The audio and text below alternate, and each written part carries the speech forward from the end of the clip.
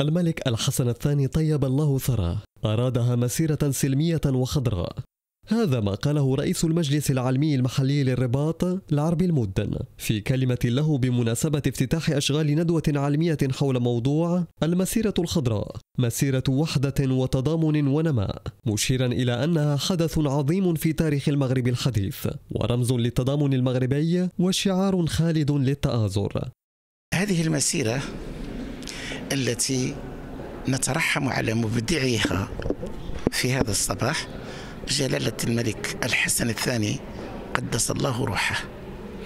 كانت ناتجة عن فكر ثاقب وعن وعي وعن عقل وعن روية احتفال المغاربة بهذه الذكرى الوطنية المجيدة. لا يجسد تخليد مسيرة مضت وانتهت قبل 48 عاما. بل هو حدث سيظل على الدوام رمزا وتدشينا لمسيرات أخرى تشهدها بلادنا اليوم.